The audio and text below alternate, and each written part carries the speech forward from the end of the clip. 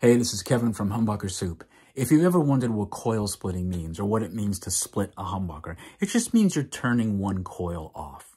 The way this works is when a humbucker has four wires, two of those wires get twisted together and attached to either a mini toggle switch or you can use a push-pull pot like this. But when the connection is made, then one of those coils is shorted out or turned off. So you wind up with a very bright, snappy single coil type of sound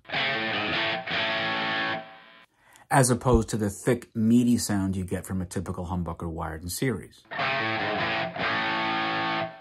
Now keep in mind, there's going to be a noticeable drop, noticeable drop in volume. You're going to lose some of the hum canceling, and it's never going to sound like an actual single coil pickup. But it does sound dramatically different. It's a very easy modification, and you can get a new sound at every each pickup in your guitar with the flick of a switch.